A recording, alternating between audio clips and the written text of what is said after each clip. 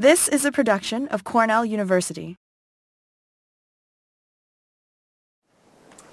Hi, I'm Jeff Sobal. I'm the current chair of the Dean's Fellowship Committee in the History of Home Economics.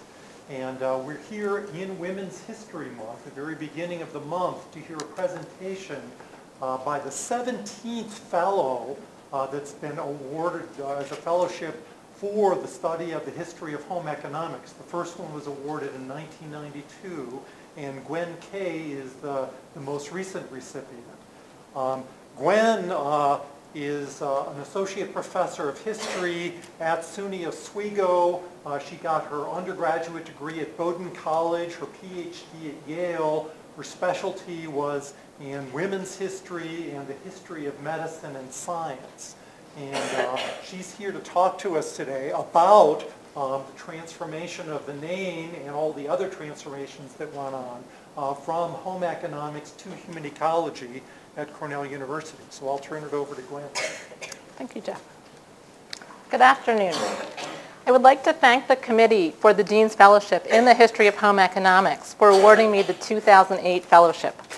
The questions, help, and encouragement I received from the committee members over my six-week stay was very helpful, and the fellowship itself enabled me to re-examine, think, and reframe what I thought I would see as I began my research project, examining how and why the New York State College of Home Economics became the College of Human Ecology. This fits within my larger project, examining the changes that occurred in college-level home economics programs as they adapted or disappeared in evolving academic climates from the 1960s to the present day. I would especially like to acknowledge the help and suggestions of Elaine Engst, Eileen Keating, Sarah Keene, and the entire staff in the Division of Rare and Manuscript Collections. As all researchers know, staff always know their collections very well and can suggest new, important, and interesting paths, and in my case, people, to pursue. Also, my conversations with Margaret Rossiter have been invaluable. She has shaped my thinking and pushed me on this project in a variety of ways. Finally, my interview with Henry Ricciuti set a precedent. After time spent in multiple archives, talking with someone who lived through and was an active participant in the changes about which I had been reading, provided a nice counter to the paper trail. And the ability to ask questions and get answers was invaluable. My research time at Cornell is richer for the input and advice I received while I was here. And my larger project has been enhanced for the time the fellowship gave me. In 1965, in response to a question posed by the College Study Committee, Rachel Dardis contemplated the situation of the discipline of home economics as a whole and at the College of Home Economics at Cornell in particular. In a letter to Sarah Sally Blackwell, Dardis wrote, quote, the failure of home economics to meet the challenge of an affluent society is due mainly to the lack of an adequate training in the basic disciplines, such as economics, in particular welfare economics. Research by home economists is necessary in economics, since its orientation would be different than that done by other fields. However, not enough basic research is being done at this moment. As has happened before, home, econo home economics is inclined to rely on other disciplines. If this attitude persists, it can only lead to the eventual decline of home economics. In this context, I might remark that the failure of home economics to upgrade its entire program by insisting on more work in the core disciplines may lead to the customary fate of all non-adaptive species, extinction. As it happens, Dardis may have been both right and wrong. Home economics at Cornell did adapt, but at other institutions, it is extinct. Over the next 40 minutes or so, I would like to outline what happens at Cornell and other institutions as they grappled with the question about the place of home economics in the changing academic climate of the 1960s and beyond. Ultimately, I argue, each school responded in ways appropriate for their time.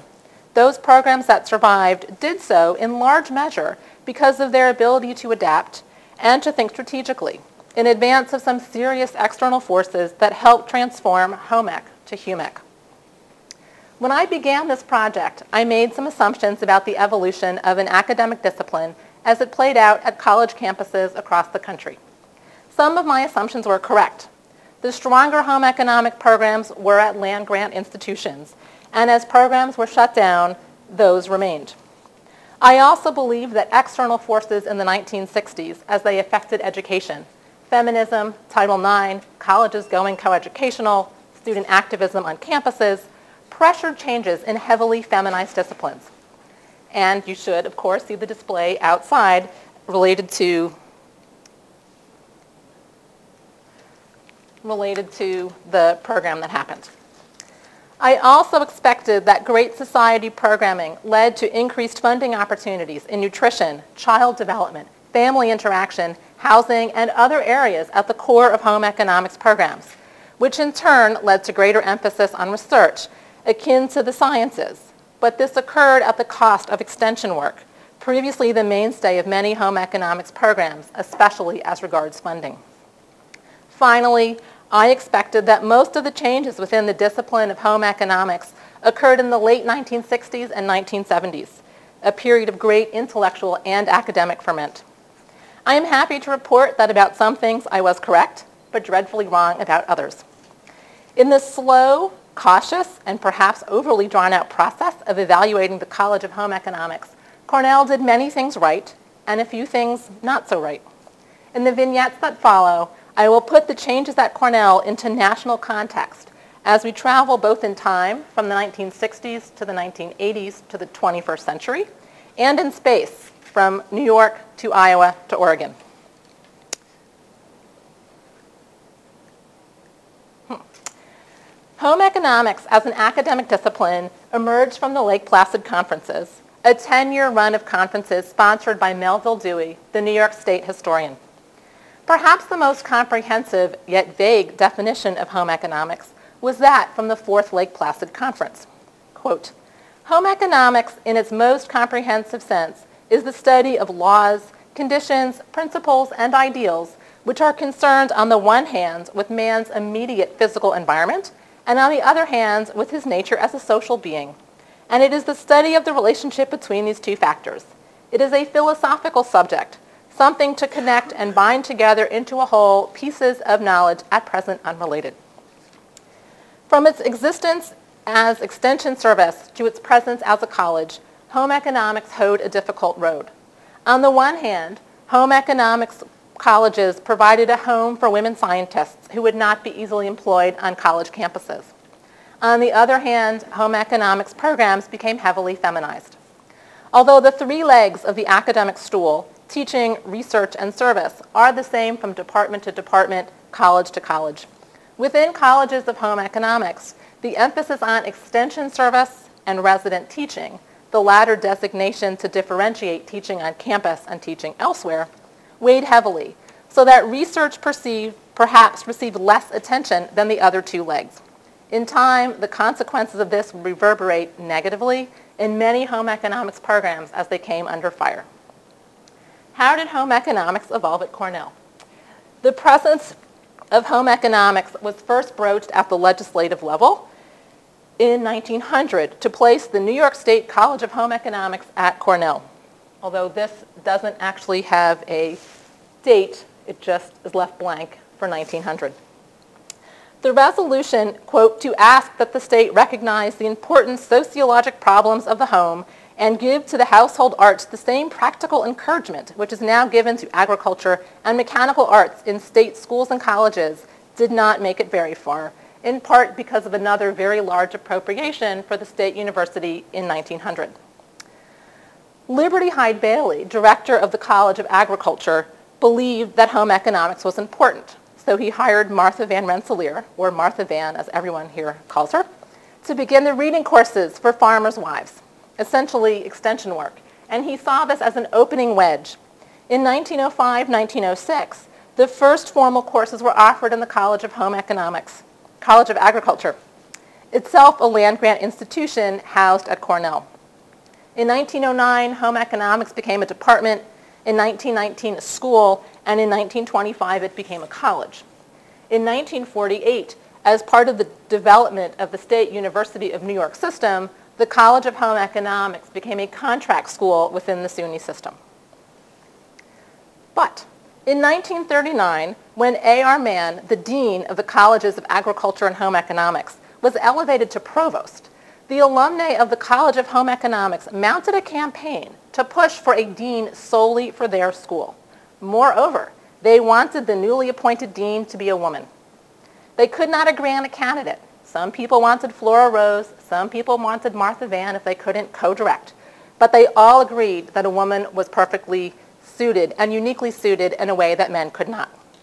Alumni, the male graduates from the School of Hotel Administration, which was housed within the College of Home Economics, also supported a woman candidate. I use this brief example to highlight both the power of alumni and the very clear sense that a female was best suited for this job. The alumni network was, as I have learned in various states, quite strong, and the power wielded by these groups not inconsiderable.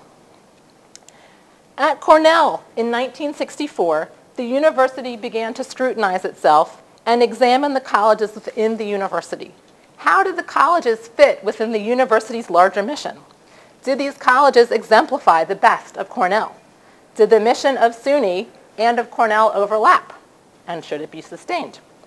That the College of Home Economics was one of the colleges being examined did not, in the beginning, seem especially out of the ordinary. 1964 was not a calm year in this country. Across this country, students empowered or emboldened by civil rights activism started to become active in organizations such as the Students for Democratic Society, and one of the posters up here is an SDS-sponsored event. Um, Lakota Sioux occupied Alcatraz, President Kennedy also launched the War on Poverty. The Great Society programs, in combination with changes in Social Security and the creation of health care for the elderly and the poor, shifted the public dynamic in terms of social activism and responsibility. Two, many of these programs offered research funding opportunities to determine how best to implement and configure them.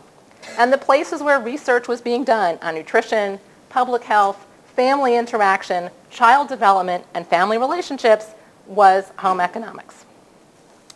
The first of what would become three separate committees in the evolution of Cornell's College of Home Economics was a college evaluation committee in 1964.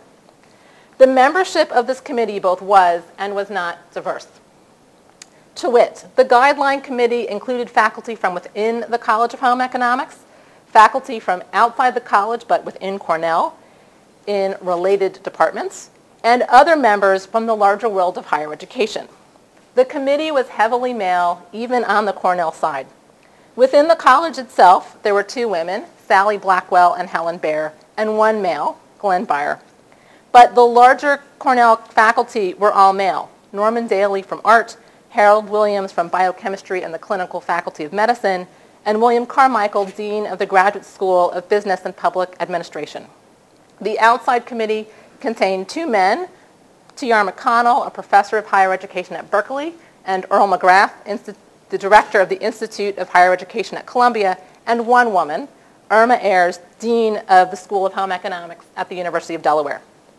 The Guideline Committee in turn spawned another committee, the President's Committee to Study the College of Home Economics.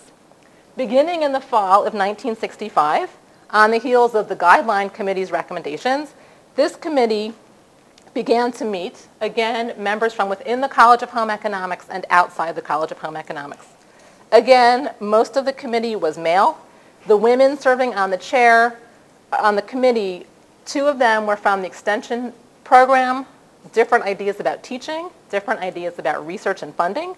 And the chair, Sally Blackwell's Department of Home Economics Education, would actually disappear in the new reconfiguration. Over the course, pretend you didn't see that. Over the course of the year, the committee met with various on-campus personnel to answer questions, such as how do home economics majors compare in terms of SAT scores and grades with students in other colleges? Several outside consultants came to the campus as well. When the committee issued its report in December 1966, known as the Blackwell Report, in recognition of Sarah Blackwell's heading the committee, it addressed the areas highlighted in the first Guidelines Committee report, the focus and organization of the new college, integration of disciplines and efforts, relevance of the school at all, community involvement, undergraduate and graduate enrollment, faculty recruitment, and a new name. Even before Title IX and the class action lawsuits to open up single-sex institutions to women, the college determined that it needed to be more relevant, recruit faculty and students better, and start allowing men, for the first time, to enroll in the College of Home Economics. As a way to highlight the change in how the college perceived itself and its mission, the Blackwell Report suggested, as had the Guidelines Committee, that a new name might be the best way to signal a new vision. The process thus far had taken almost two years. The first committee led to a second, and many of the questions of the Guidelines Committee were clarified. With the retirement of Dean Helen Canoyer inevitable in 1968 because of a mandatory retirement age, a unique opportunity presented itself. A new dean could shepherd in a new vision, even if she or he were willing to follow the suggestions of the college's own committees, the new dean might have more clout, more impact as a fresh face or even an outsider. In looking outside the college for a successor, Cornell was, without perhaps meaning to, creating precedents for other schools in how to change, alter, and otherwise move the large and sometimes unwieldy discipline of home economics forward.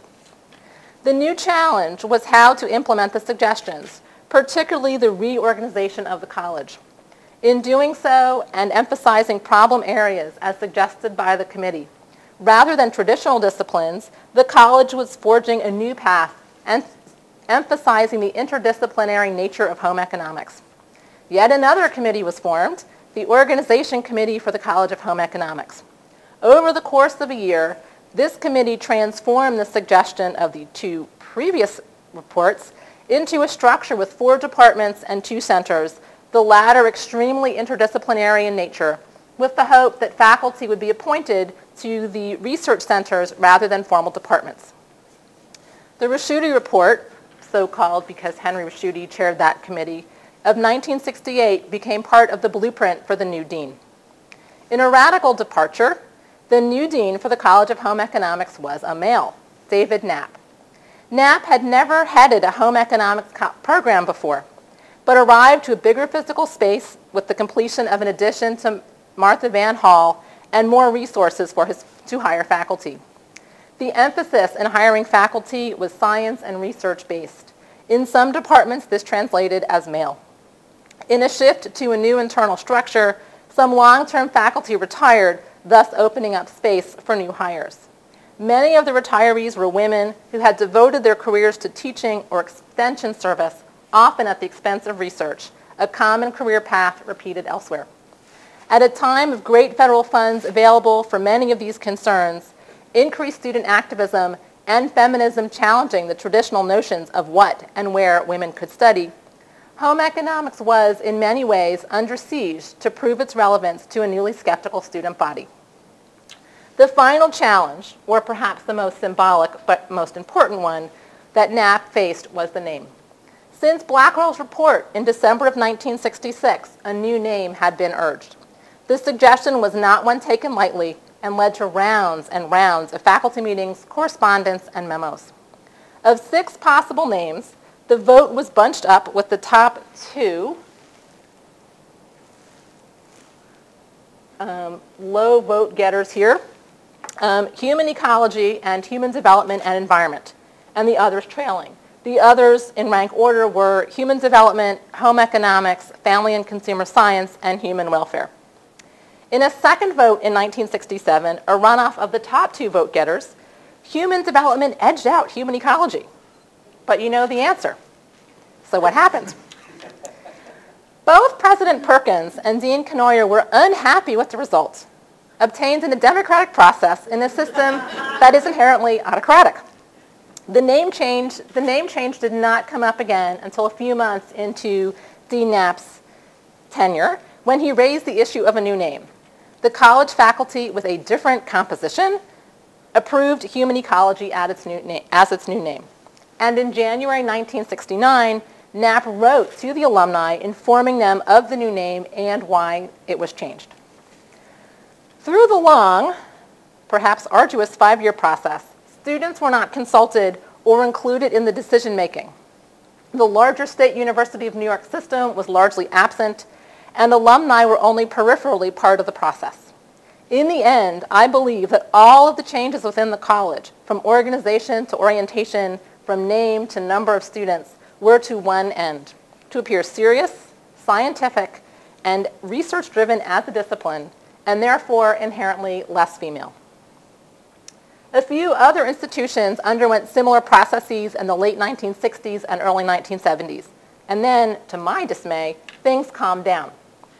I say dismay because in my original hypothesis, intellectual ferment, campus discord, students taking over buildings, um, research funds were all driving forces, or should have been, in the transformation of the discipline of home economics. But things remained relatively quiet in the 1970s and the 1980s. Then, in the Reagan recession of the mid-1980s, pressures mounted as budgets across the country were scrutinized. In Iowa, the Board of Regents began to wonder why three programs in home economics at the University of Iowa, at the University of Northern Iowa, and at Iowa State University, all within a two and a half hour drive of each other, were concurrently open. The beginning of the end of the three separate schools of home economics at three different institutions started with an analysis of the programs in 1989. The outside reviewers, Lena, Deans Lena Bailey and Karen Craig, came from the programs at Ohio State and the University of Nebraska, respectively. In their examination of the three schools, they looked at duplication of services, how each program fit within the school's larger mission, and the quality of education. The University of Northern Iowa, UNI, based in Cedar Falls, was viewed by students and faculty alike as a regional school. Its home economics unit offered seven majors, had 220 students and 14 full-time faculty, it was seen as viable.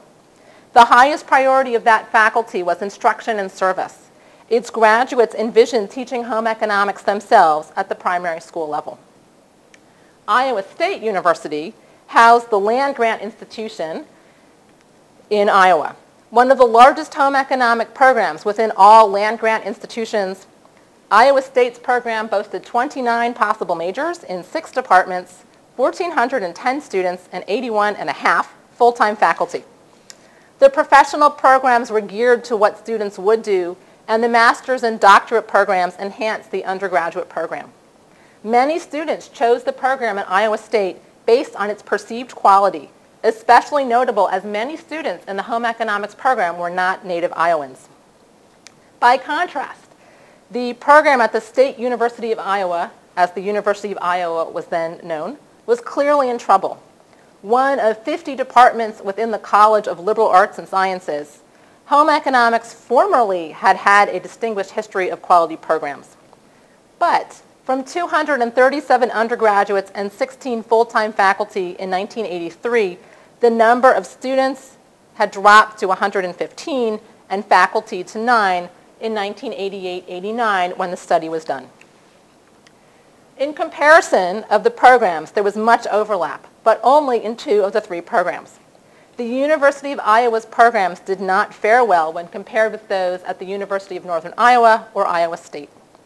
Side-by-side -side comparisons of child development, dietetics, family and communication, service, fashion merchandising, food service and human nutrition, general home economics, home economics education, and housing and textiles reveal that not all programs are equal.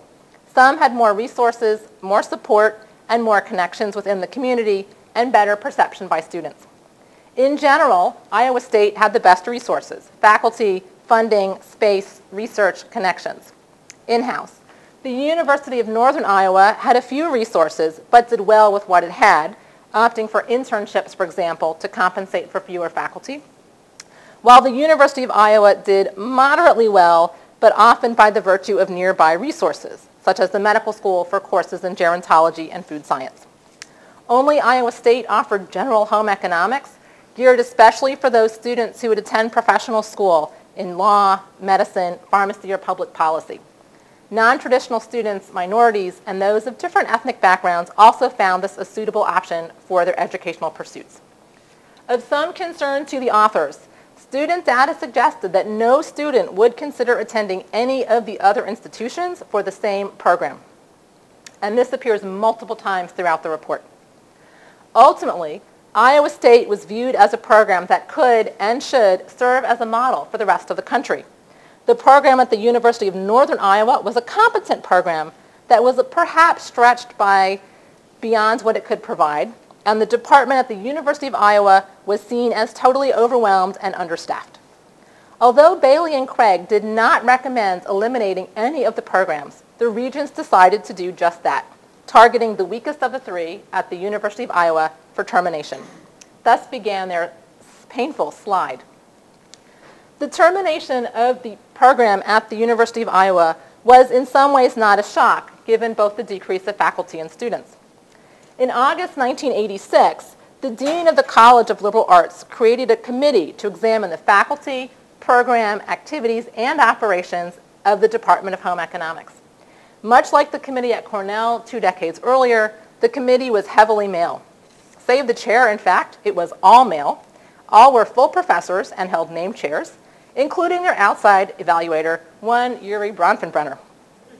The committee's report is concise, clear, and wastes no time getting to the point. What is the place of home economics at the University of Iowa?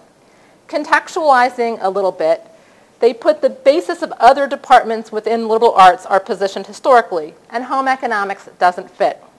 The field of home economics the report stated, quote, is neither located at the bedrock of traditional arts education, nor is it perceived as being presently socially utile. Thus, in these times, it is subject to social scrutiny and concomitant misapprehension and stereotype. End of quote. By the end of the first section, although the report is not making a recommendation per se, its point is clear. Quote, while the faculty have neither changed the name of the department nor radically altered the mission, they nevertheless are deeply concerned about societal attitudes towards their discipline. End quote. Reading through the report, some of the trouble within the department might be because of the very nature of the program itself. It was very interdisciplinary. A small faculty has limited options for majors. Pointing to two decades of turmoil and increasing numbers of interdisciplinary programs such as women's studies, the diverse nature of home economics emerged as a problem. Core courses such as math, chemistry, physics, biology were taken outside in other departments. In an attempt to bolster the quality and reputation of faculty within the College of Liberal Arts at the same time, there were new and higher standards for hiring, tenure, and promotion. Although these policies were administered campus and university-wide, other departments suffered. The consequences were disproportionately high in home economics. The conclusion of the 1987 report set the stage for the 1989 review of the Iowa programs, suggesting that the decision to terminate this program was not unfounded. The late 1980s are awkward and uncomfortable times in the field of home economics, the report noted. The social changes occurring in the United States in the last two decades raise important questions about the orientation and capacity of the discipline. Home economics is experiencing something akin to an identity crisis. The field displays extreme intellectual diversity, a professional component, unusual organization, and other features which make the implementation of an effective and efficient academic curriculum challenging. Meanwhile, the economic programs encountered by universities and rigorous standards for promotion and tenure have added some thorny problems to the packed agenda of the Department of Home Economics. End quote. Part of the tension within the department may have stemmed from a sense that professionally oriented departments, such as interior design, were looked down upon within the College of Liberal Arts. Part of the tension also came from recent tenure decisions. With the wave of retirements, the department had one full professor and lean ranks at the associate level. Five recent tenure decisions had not gone well. Two had been got, not gotten past the department. One considered very strong by the department had been very soundly rejected by the dean. Midway through 1987, when the report was not yet completed, the dean of the college wrote to the chair of the department congratulating her and saying that the existence of the department was so critical did it not already exist, something like it would need to be invented. In his assessment, however, Bronfenbrenner called for either retaining the status quo, quote, as a risky leadership opportunity, or dismantling the department altogether, creating one focused on family studies and human development. The on-campus report was grim, even as it tried to be upbeat, and it did not call for dismantling the department. However, during his visit, Bronfenbrenner had told three faculty in fiber arts that they should consider looking elsewhere for jobs. It's not clear if people knew that he would say what he said in his report when he came to campus, but the department chair lodged complaints as soon as he made the comments and after his report came out and when she saw a copy of this letter as well. Following the 1989 report by the regents on the Iowa system, the accounting firm of KPMG analyzed the data and concluded that Iowa State's program should remain, University of Iowa's should not. The program at Northern Iowa should be dissolved in addition to that at University of Iowa, but that program is still in place. These recommendations did not sit well with department members at either of the schools targeted for dissolution. The chair at the University of Iowa wrote a rebuttal to the report questioning or clarifying some of the findings. For example, the program in interior design and the program in dietetics had been discontinued in 1988, which naturally led to a decrease in both faculty and students. Changing policy in tenure decisions had hit the department especially hard. Here are tenure decisions, and all these faculty have recently resigned. Most of the women, mostly it's women who have resigned and are now emerita. Most of them are at the assistant or associate professor level, suggesting an incentive to leave earlier. It was also pointed out that women faculty in the Department of Home Economics were 6.1% of all women in the College of Liberal Arts. Without home economics, the percentage of tenured women in the college dropped from 15% to 14%. And yet the writing was on the wall. With the nature of the program's termination, what happened to the faculty? Some moved to other departments, some retired, and most heeded Bronfenbrenner's suggestion and went elsewhere. And the University of Northern Iowa, the program changed its name in 1991 and while still small, increased requirements for faculty so that more faculty today have doctorates and fewer have master's degrees. The program is still small, but its graduates are loyal and most are employed locally. Out of Iowa then, there are some failures and some successes as the discipline of home economics realigned itself and renamed itself in the lean years of the 1980s. Lessons learned elsewhere meant that when the program at Iowa State changed, some changes were transparent with all constituencies as part of the process and some were not. Notably, the earlier changes at Iowa State happened more by fiat than democratic process. In 1986, before the study for the state regents, the Department of Home Economics discussed a merger with another department and declined. Months later, in the spring of 1987, the issue of a new name came up and they declined, but in a little addendum at the bottom, in the May meeting, suddenly the name was changed anyway. So what happened? One of the regents for the state of Iowa for six years had been trying to change the name of home economics. She thought it was a detriment to the program.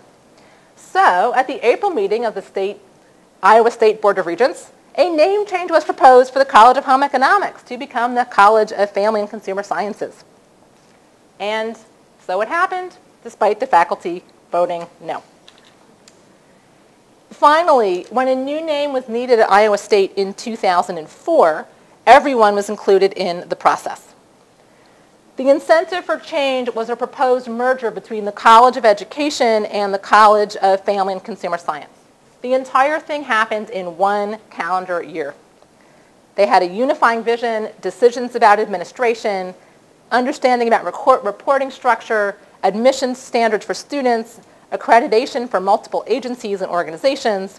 The new name was discussed and voted on by students, faculty, staff, and alumni, both from inside and outside the newly formed college. Although not everyone was pleased with the final decision, everyone was involved and anyone who wanted a voice in the process was empowered and able to participate. In its final thus far uh, name change, Iowa State opted for transparency and strove to get buy-in from everyone. Because this change was the most recent, 2004, it used modern technology. All meeting minutes were posted on the web and available for anyone to look at them. And mistakes from the past, the Board of Regents changing the name of the program by themselves, did not happen. So what happens next at Oregon State University serves as an example of a final change of organization at one of the, another one of the oldest programs in the country. The program of home economics at Oregon State prides itself on being the fifth oldest in the country, and it's the first west of the Rockies. Established in 1889 as a Department of Domestic Economy, by 1897, students could receive a master's or bachelor's degree in household science. The School of Home Economics became a college in 1983, just as other colleges of home economics were transforming their identities as reflected by new names or disappearing. At this moment of transition, as so often happens, a new dean was hired. The new dean, Kinsey Green, brought with her vast experience and a sense of home economics in the larger world. She had been the executive director of the American Home Economics Association. Some on campus were leery. She had very little academic experience, but she was far and away the best qualified candidate. As had occurred elsewhere, Oregon State changes seemed to happen suddenly without much internal discussion. But in 1964, discussion about the college future and the discipline suggests that faculty and administration were paying attention to larger educational trends. The two primary goals of the college, the 1964 plan noted, quote, are to provide a general education and to develop a professional excellence in subject matters of home economics. The total program of the school is implemented through instruction, through research, and service. The projected enrollment continued to grow, a natural assumption, but for the opening of other department and program doors to female students. They didn't really see feminism coming. Although the assumptions by many women had been that the college was limiting its alumni to traditional life, the 1965 report took the long view. And they wrote at the very conclusion, since the subject of home economics constantly changes, it is important that the School of Home Economics frequently re-examine and adapt its program. A 1984 program for the next three to five years mentions nothing about the shift from a college school to a college. But within a few years of her arrival on campus, Kinsey Green started encouraging a new name change again, the same thing that happens in Iowa, is Iowa State is happening here. The School of Home Education was about to disappear, and the School of Home Economics took in the School of Education. The new school that was to be created was seen as an opportunity for a new name, and the committee to change the name of the college lasted for two and a half years. The marriage was an uncomfortable one. Many in the School of Education were unhappy that they came second in the newly formed College of Home Economics and Education. And yet, when a new name was proposed, the com committee was formed. The committee examined names of other schools, received announcements of name changes, and heard from alumni, not happy ones, from the classes of 1922 and the class of 1948, voicing their displeasure. This tension mirrored the unhappiness elsewhere regarding change. Many of the alumni who taught home economics at the junior and senior high school level or practiced it within their homes, the Becky Homekis, as one professor labeled them, perceived the name change as a slight rather than an understanding of a field that was always evolving. Further, the change highlighted the differences always in place between an academic discipline with a drive for research and funding to support it versus its practical application the very tension that dogged many colleges of home economics as they strove to define themselves at, not as a vocational training program, but as a professional school. Alumni at, Ohio, at Oregon State were unhappy with the proposed change and were vocal in their displeasure, most notably in declines in giving. A woman who had given money for 50 years to the College of Home Economics stopped and gave it to Oregon State as a whole, every place but the School of Home Economics. Although the process at Oregon State may have been deliberate, slow, and thoughtful, many people felt out of the loop, which raises a question about stakeholders. To whom is the college responsible?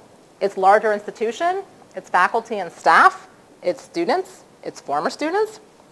Many of the changes that occurred, as I have examined them, were prompted by a larger institutional sense of change, modernity, and context, leading to a project embarked upon by faculty with limited input from students and often none from graduates.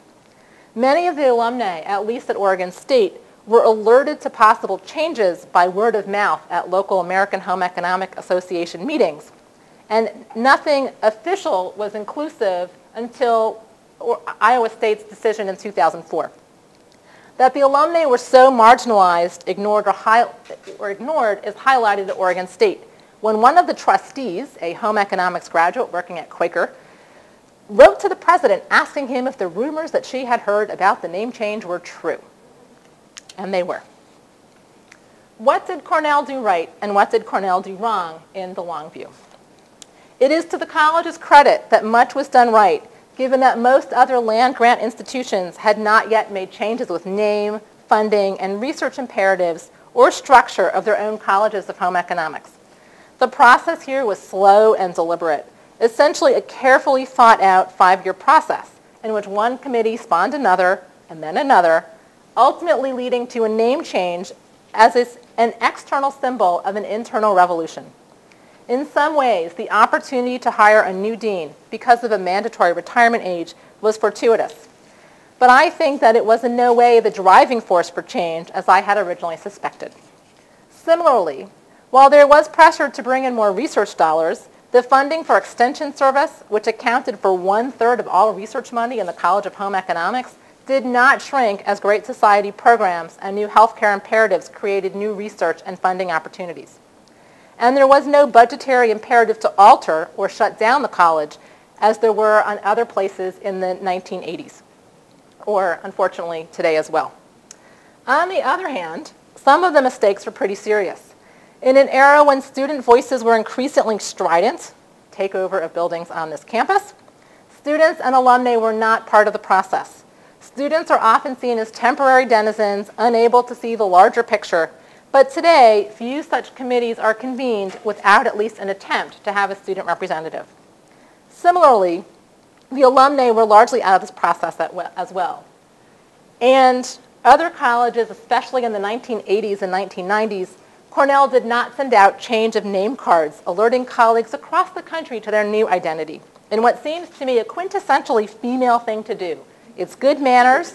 Every card I have seen is engraved positive spin on what was clearly a wrenching decision, and I saw one engraved card that announced the shutdown of a program. In bringing in a male dean to guide the college in its transition from home ec to HUMEC, the message was unmistakable. The change was real, permanent, and the college was serious about its new identity.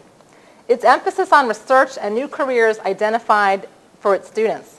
At the same time that Richard Dardis foresaw extinction as a possibility for home, economic, home economics, other colleagues were more optimistic.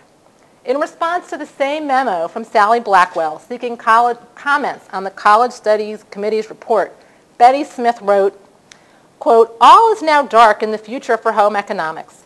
If we do build as I have indicated, I think home economics will emerge as a very important segment of the university. Home economics is in the unique position of being able to bridge the gap between the basic disciplines and the individual. The opportunity is there. Let's take advantage of it. End quote. And I'm happy to report that Smith was right and the opportunity has been taken. Thank you very much.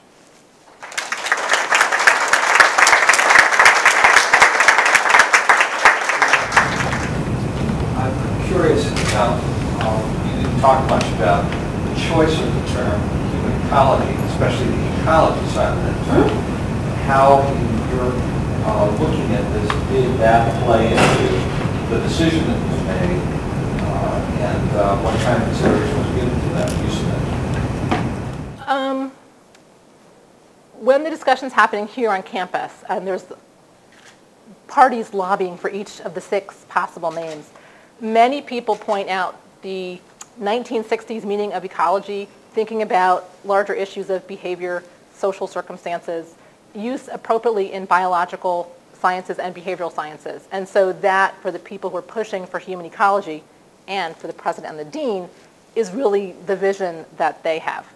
So they're thinking about ecology at a time when people who are thinking about what we would today consider ecology are talking about the environment. Because Cornell, um, Penn State, and Michigan State use variants on this term, it gets picked up. And it's one of the most common names that's used by every program as they change their name because it worked there. So we should think of ecology in a broad context, not a narrow scientific bench science kind of way. But just follow, there, there probably had not been many departments or programs in human ecology prior to this. So was the term in part uh, uh, an acceptable one because it didn't play to the vested interests of subgroups in these colleges? Um, it was seen, I think Penn State had just made the name change and they had used it. Um, ecology was seen as the, well, other people obviously wanted human development more, so they lost. Um, but ecology was seen as the same kind of thing, spanning the multiple disciplines and trying to get at the interdisciplinary nature that's inherent in what had been home economics. Does that Yeah. answer your question? Well, I think we began to hit on the human development. There clearly were constituencies for human development, for family studies, or for um, and home economics. and home economics and others. And, and I'm wondering whether they whether this term was appealing not so much because of what it meant, but because it didn't allow any of those constituencies to be dominant uh, in the name. It really pro- provided a name that had sort of a bigger tent. Looking at how the vote worked when there's a runoff between the two and human development wins and then it doesn't two years later, it suggests to me that many of the people who were opposed to ecology were um, probably women who had been doing extension service, heavy teaching, not so much other kinds of research because their schedules hadn't enabled them to do that. And they were all gone. So there are new hires who are coming in who have a higher research profile and are thinking about doing research in different ways. And so ecology appeals to their sense of identity more than development does. Can I ask a question? Um, human ecology already was a conceptual issue, certainly in biology with, with the early workers' culls and people like that, but also in the social sciences. So you have the tradition from Robert Park and others at the University of Chicago and Amos Hawley. And in your review of the documents, were there any supporters or objections from either the biologists or sociologists or anthropologists that already claimed that as a term or that didn't even come up? Because the votes are mostly, are within the school itself, um, you certainly have people who are trained in anthropology, for example, and are now within the college, but they're such a small minority that they're not seeing this as much different from how they envision or interpret its um, larger meaning. When you touched upon the education department disappeared, Yes. um, can you talk a little bit more about that within Cornell as to maybe, do you know about why? Um, I think it's part of the larger sense that the new school needs to be professional and the women who are going to, who are in the Department of Home Economics Education are going to clearly become teachers, although maybe Joan can correct me. Um, so I think that part of it is we don't want to think of training people just to be teachers. We want to think of training people to do any number of things and be less vocational, which is sort of what has been dogging home economics because of federal funding issues for its entire life. There doesn't seem to be a lot of protest, which strikes me as very sad, um, as are discussions about reorganizing and folding home economics education into the, parceling the people out into other programs. And then when they retire, they're not going to be replaced by the same kinds of people who had done what they had done. Which leads, I should point out, to a shortage of home economics teachers. But that's a different story. To- just to follow up on um, Eileen's interesting question. Um, Here at Cornell, we um, got rid of nursing, teaching, social work, home economics. All of the, you know, core women's professions of the late 19th and 20th century. And I'm just wondering if you thought about how you want to position your story of home economics um, in this larger history of the uh, demise of women's professions, particularly at higher status institutions. This makes me very sad to see these programs disappear. Um, I'm not quite sure yet how I'm going to do this. So hopefully if you ask me this question in a year, I'll have a better sense of my answer. I think that for many of these schools, it's about status. And those are seen as, I mean, they are seen as low status schools or schools where somebody else could pick up those, those students. And the administration might argue that they are opening opportunities for female students and giving them more choices. They don't have to study chemistry within the College of Human Ecology. They can do it in the College of Liberal Arts. But I think it's the reverse. I think that by eliminating nursing and teaching and home economic, these programs, they're forcing women into places where they might not have been otherwise, which ultimately is probably a good thing, but I think it's very, it's hard going. And talking to people um, in Iowa and also in Oregon, they eliminate program after program that serves a real need, and they just decide it's not important. No one really needs that program. So I think they're trying to elevate the status of women and elevate the status of their schools, but it's the school's profile that's much more important. The, at the University of at the University of Iowa, when the department disappears, there are seven full-time faculty left, and they all go into different departments, and they're all gone within 10 years. So trying to find them new homes, they can't teach what they've been teaching because they're in a new department with a new program, with a new mission, with new core courses. It doesn't really end well. Uh, I'd just like to comment, I was actually a student here, um, College of Community Ecology. I started in home ec, I graduated in community ecology. Um, and the major ec education was there when I started. Um, but there was very little interest in it. I think there were less than 10 people actually declared that as their major. And the courses, um, I believe were fairly expensive, some of them to offer. So it just seemed like the, the writing was on the wall, even before we knew about all these other great changes that were. I think it becomes a chicken and an egg. There aren't lots of faculty because there aren't lots of students, and then so it sort of feeds itself, and no one chose it. We were already a mindset that went more into community college than ec. Um, we always felt rather defensive um, about the name home ec did not seem to fit what we were doing, even under the old curriculum.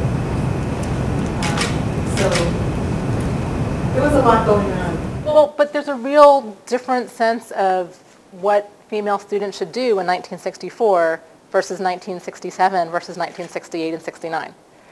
So you have changed, students have different expectations and assumptions when they come in also than the women who had graduated four years previously.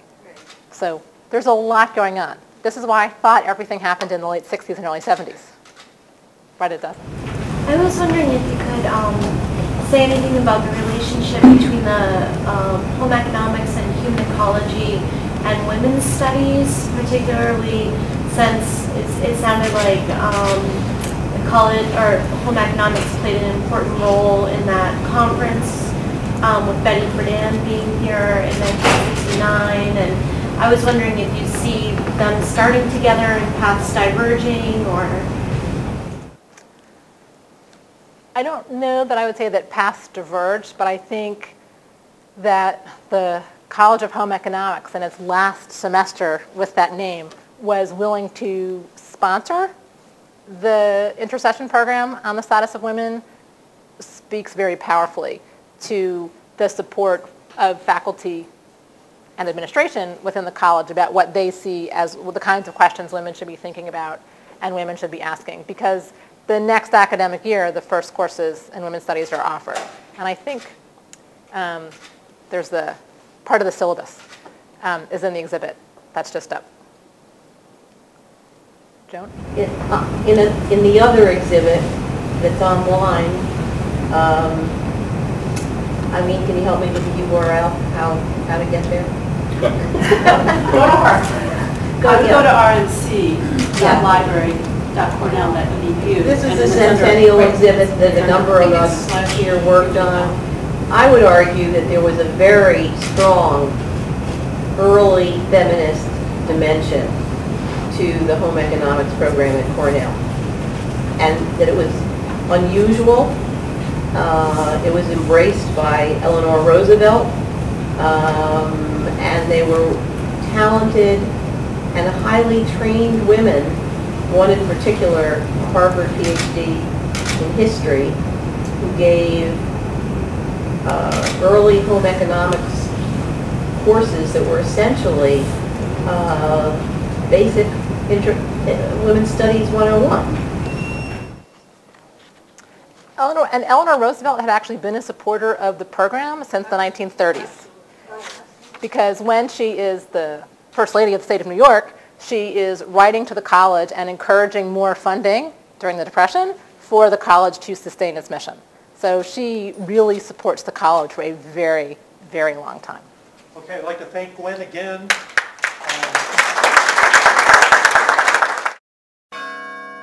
This has been a production of Cornell University.